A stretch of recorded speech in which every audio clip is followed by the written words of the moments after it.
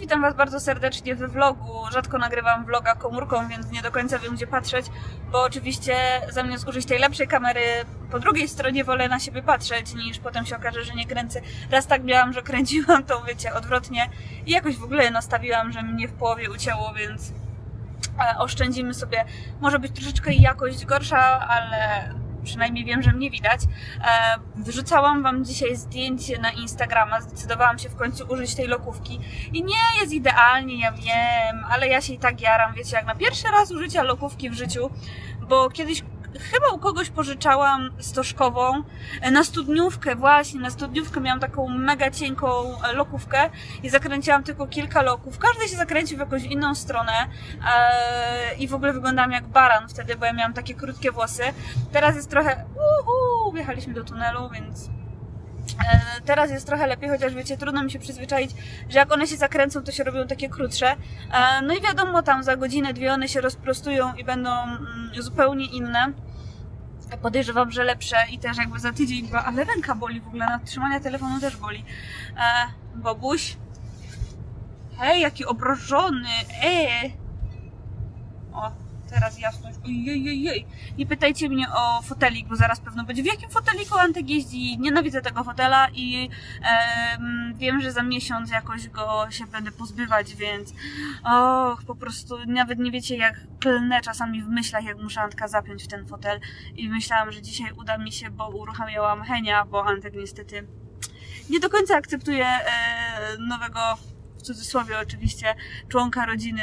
I e, o ile stoi, jak odkurzacz stał, to Antek się bał nawet stojącego odkurzacza. Na szczęście Henia stojącego się nie boi, ale jakoś nie wykazuje aprobaty na to, jak on zaczyna ruszać, więc puściliśmy go po domu i pojechaliśmy, jedziemy na obiad.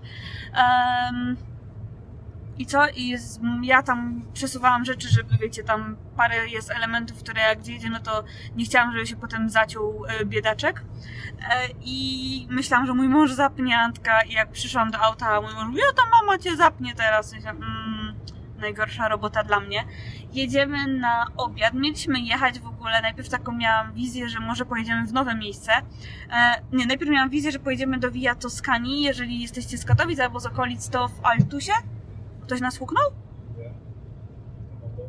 Tak? A taki dźwięk był jakby nas ta, ta panda pukła w bok.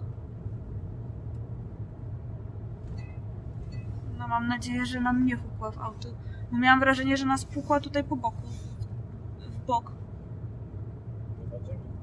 No jakaś ST, ale dalej nie zapamiętałam. Chyba 4.7 i tyle. Ale jak to to jest monitoring pod tym? Mam nadzieję, że nie. Via Toscania jest w Altusie, tak się nazywa? Altus? E, teraz mój mąż jest, wiecie, zestresowany, no wiadomo. E, potem uznałam, że może pójdziemy, patrz, i chciałam nagrać właśnie w tym momencie i oczywiście mieliśmy, a nie puszczę, bo potem YouTube mi zablokuje, że jakaś muzyka w tle leci. E, I chcieliśmy iść do Modro, Modro, tak? Modro Restaurant, to jest przy Muzeum Śląskim. E, jaki fajny bobas sobie tam na takim rowerku, że się odpycha. Widzisz, na tym placu też będzie Żandek taki miał.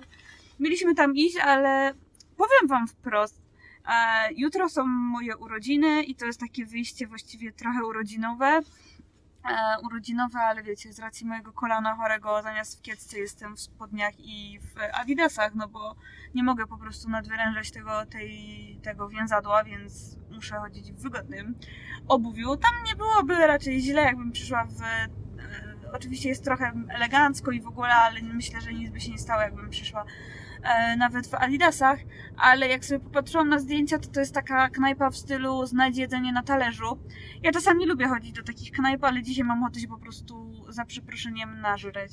Chociaż wiem, że to źle brzmi, więc idziemy do indyjskiej? Chyba tak. Znowu nie wiem tajskiej, indyjskiej, chyba indyjskiej. Jaka to jest knajpa? Indyjska, dobra.